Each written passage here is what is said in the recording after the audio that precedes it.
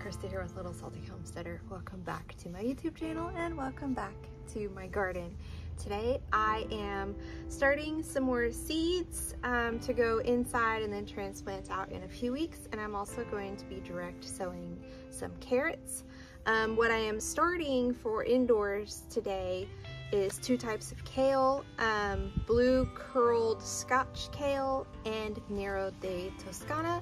And then the carrots that I am direct sowing today are dragon carrots. I am also starting moss curled parsley, um, sort of trying to get some herbs going, some cooler temperature herbs going to go into one of my green stalks and throughout the garden for me to just cut and snip and use as it's growing um, in my spaces.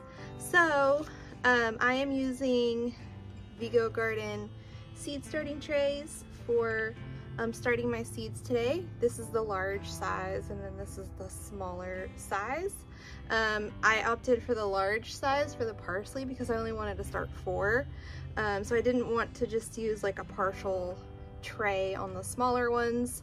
And um, I'm loving these a whole lot more than um, my 12 cell kind of much less um, robust trays that I have. So um, that's what I'm starting the season. The soil that I'm using is Fox Farms Ocean Forest. I um, I always use that soil for my seed starting. It's really light and fluffy and it has a ton of nutrients in it. All my um, seed starts do really well in there so I'm just going to continue using it until the quality goes down or somebody tells me that there's something better and I try it and like it more. Um, I have tried a ton of other seed starting mixes and soils in the past and this is just the one that works the best for me personally. Um, I know that it's kind of a budget buster because it is a little bit spendy. Um, we have a grocery store here in Texas called HEB that sells it for far cheaper than I've seen it anywhere else. That's the only reason why I haven't uh, continued to kind of shop around for something less expensive is because I can get it for like half the price there compared to other um, suppliers. So um, for the seeds that I'm starting today, I'm gonna give you guys a little bit of plant information about them, um, sort of kind of help you guys gauge if maybe it's something that you're interested in growing in the future or so you can kind of get an idea of the things that do grow all right here in North Texas in the fall and winter vegetable garden. Um, for the record, it is 99 degrees outside right now, so it is quite hot. So it is really bizarre for me to be planting kale seeds, but here we are. Okay, so um, blue scotch curled kale is probably one of the most hardy kales that you can grow within your garden because it will withstand temperatures down to literally zero degrees Fahrenheit before you need to cover it with any sort of frost protection. Um, this one is actually growing in this green stalk right here on the other side. It has uh, survived this awful summer. Um, it survived last winter just fine. I do apologize, it's quite breezy out, so the wind chime is going a little bananas. Um, it is a large leaf variety that has many leaves per plant. Um, it is dark green and then the edges are very, very tightly crinkled. So it, it's like the little old man with like arthritic fingers uh, whenever you look at the leaves. Um, the leaves are sweet, tender, and crunchy, especially after a frost. Now, I wouldn't necessarily go eat some of the plants today simply because it's probably going to be quite bitter after all the heat that we've had. But once it starts to cool down, especially once we have those you know, pretty chilly, frosty mornings, it tastes great. It is um, pretty quick growing, 30 to 55 days to maturity. It is a container friendly plant because it does not reach a super humongous size. Uh, it works great in this green stalk. Let me see if I can actually kind of show you guys. It's right there, not there, right there it's right there. And um, as you can see it's just growing out of one pocket of the green stalk. It doesn't get very big maybe 12 to 18 inches uh, around at the most. Um, it is very versatile. It is used in smoothies salads micro micro greens Um, you can make kale chips with it. One of my favorite ways to prepare it is in a soup called zuppa, te, zuppa di Toscana. Um, that's a really fantastic, hearty kind of winter soup with sausage and potatoes and kale. Um, made popular by Olive Garden. It's not actually an authentic Italian soup. It's an Olive Garden soup, but it's really amazing. Um, we make it homemade here. So uh, it's glorious. Anyway, enough about soup. The other variety of kale that I'm growing is Nero di Toscana kale. It is also known as lacinato or dinosaur kale. It looks kind of like a palm tree whenever it's growing. So it has like the one central main stem and then all of the leaves kind of come off of the top and they kind of do this drooping effect similar to a palm tree. Um, I could not find the hardiness temperature information for this kale, but it is incredibly cold tolerant as well before you need to worry about covering it for, you know, weather protection. It does get quite tall. It will reach around three foot tall. Um, that's especially whenever it has that palm tree kind of appearance. It is, uh, it has dark, meaty, puckered leaves, and um, those leaves are dark blue green in color. The flavor improves after a frost. Um, so again, once we reach those super cool mornings, that's whenever the flavor is going to be the best. This one is also fast growing, 50 to 60 days to maturity. Um, this one is ideal as microgreens or um, because those leaves are going to be more crisp than some other varieties of kale. You can saute it with bacon or pancetta. You can put it in soups and stews. Um, you can also make kale chips with it, but they won't be as like tender and flaky as uh, the blue scotch curled kale. And then for the moss curled parsley, um, this is a variety of parsley. Uh, it is cold and frost tolerant. It is grown as an annual. It, um, you want to grow this through fall and winter because, because of its cold tolerance, it has a milder flavor than the flat leaf parsley. Um, so some, some grocery stores you can find both varieties available. Most of the time when I go, I can only find the flat leaf. Um, I will grow both this year to kind of compare which one I like more. Um, but from the research that I did, this moss curled has a milder flavor. It is nutritious with vitamins A, B, and C. Um, it is known to freshen breath in the medieval times, Middle Ages and such. Um, they would eat parsley after a meal to kind of get rid of, you know, the garlic and onion breath stuff because oral hygiene wasn't really a thing then. Um, it is a biennial, uh, meaning that if you continue to grow it, like you start the seeds in the fall, grow it through the winter, on through the spring and summer into the hot months and then back into the cold months again, that second year that it grows, it's actually going to go to seed, create flowers. Um, you'll be able to save seeds from that. However, uh, it's going to taste a lot better during its first year of growth. So most people will grow it as an annual. Um, it is a little bit slower growing than the kales. It reaches maturity in 70 to 85 days, um, but it does not get very big. It is only a 10 to 12 inch uh, tall kind of mounding plant, so it's gonna be kind of rounded. Now, the carrots, the way that I'm going to be planting those today, I'm going to be direct sowing them, but I tried, I'm trying a new method with sowing my carrots for this variety um, because I just wanted to see how it goes. So I have made all these different carrot tapes. And this is simply um, toilet paper. And you can see where I made like a flour paste to use as a glue.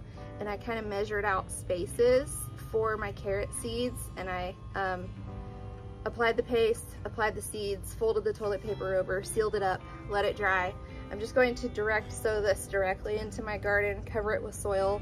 As I water it, the toilet paper will break down, that flour paste will break down, and then what will be left, hopefully, is a lot of carrots.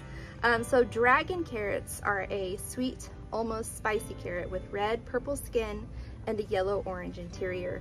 They reach maturity in 75 to 90 days, um, so these are going to be a little bit slower growing than the kale, um, but um, one of the cool things about it is whenever you cook these carrots, the purple red color kind of fades. You'll be left with that yellow orange.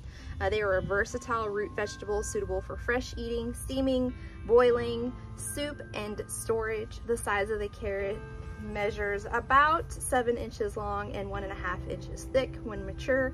Um, they are sweetest when they are grown in the fall.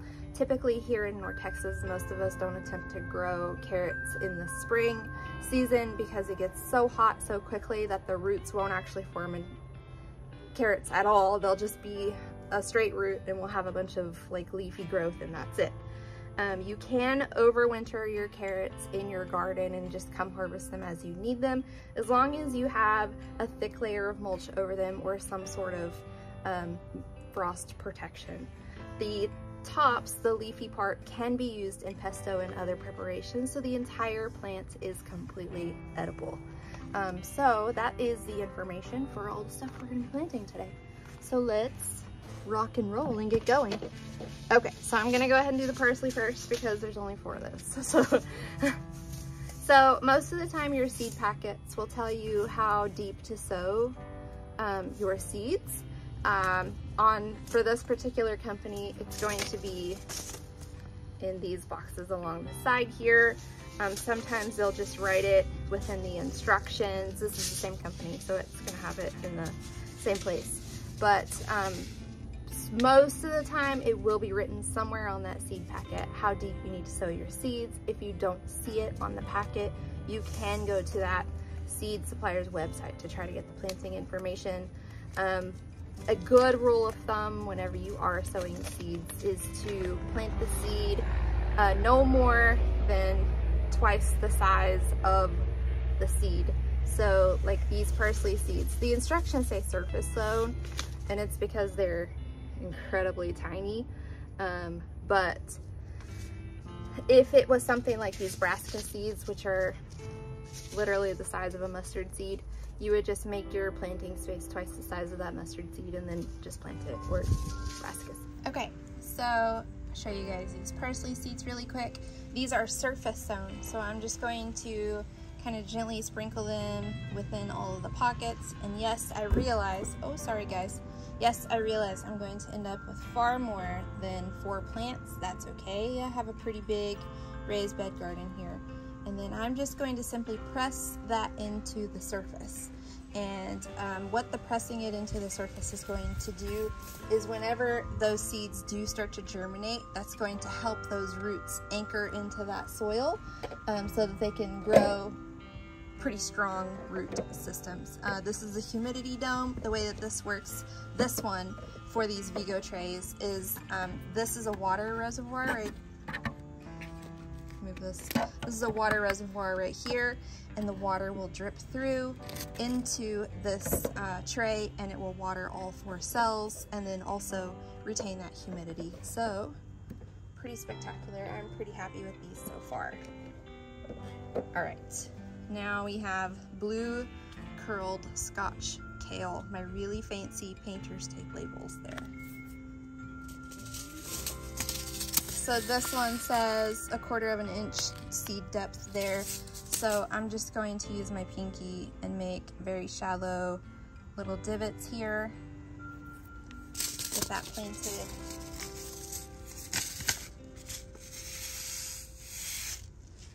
And you can see those are the size of mustard seeds. Most brassicas are going to be very, very similar in size and shape. So if your seeds ever spill somewhere, um, I wish you luck telling them apart.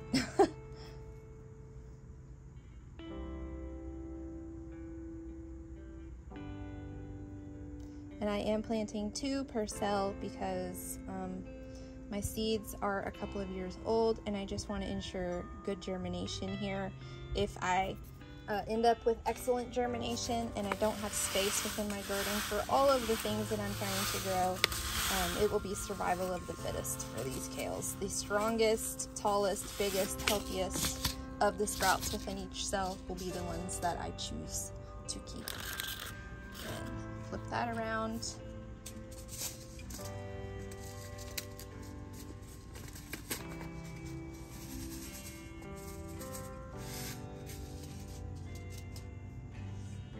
Nero de Toscana is going to be the same way. Let me just make my little divots here.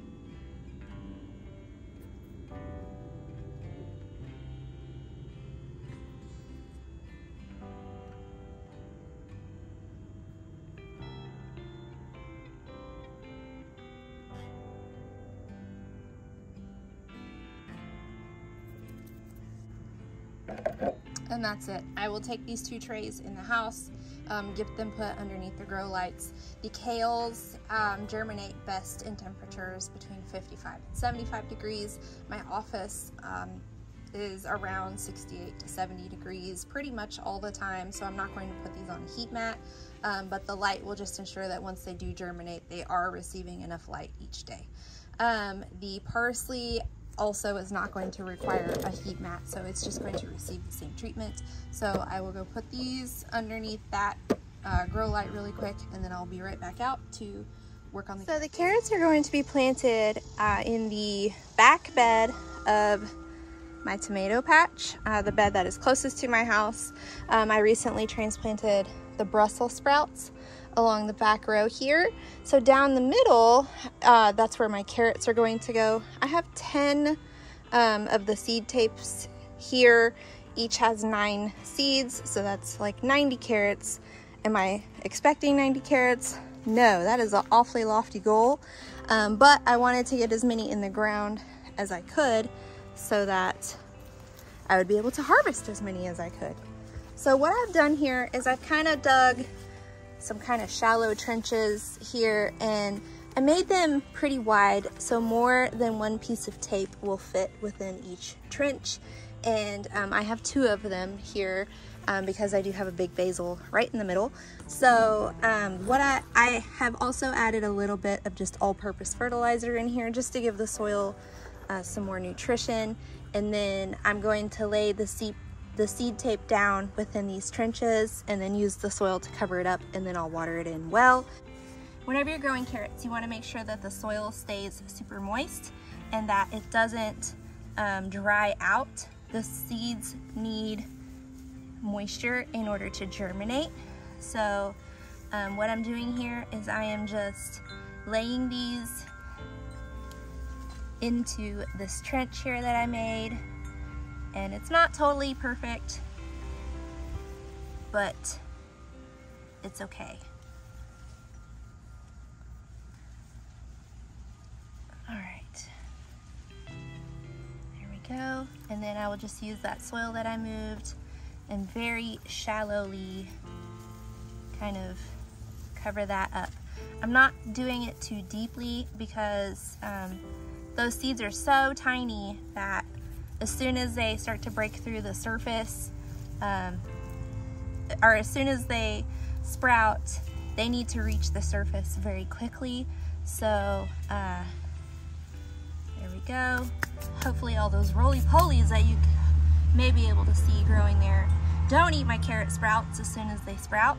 Uh, carrots can take up to three weeks to germinate, so if you don't see progress quickly, don't fret. They are a little bit slower and they do also like cooler temperatures.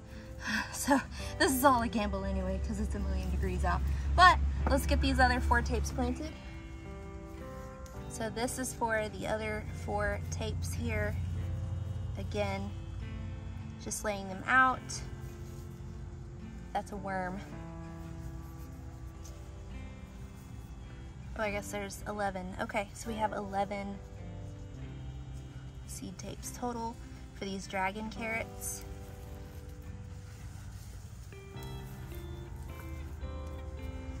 Again, just very quickly, very shallowly, covering them with the soil.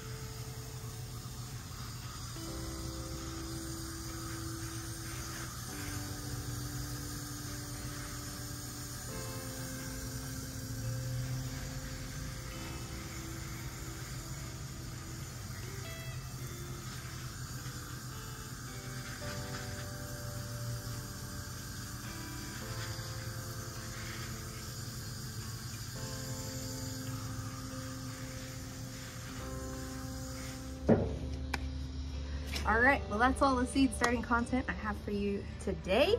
Um, that's all that was listed on the seedtime.us um, application that I used to plan out my entire garden. So uh, the next task that I have on my list is actually transplanting some broccoli into that middle raised bed. Um, so that will be the next video that comes out. Um, but if you liked this video and you want to see more gardening content, more seed starting content, please like and subscribe, comment, do all those different YouTubey things. Um, but until next time, go find a way to get those garden manicures. Bye.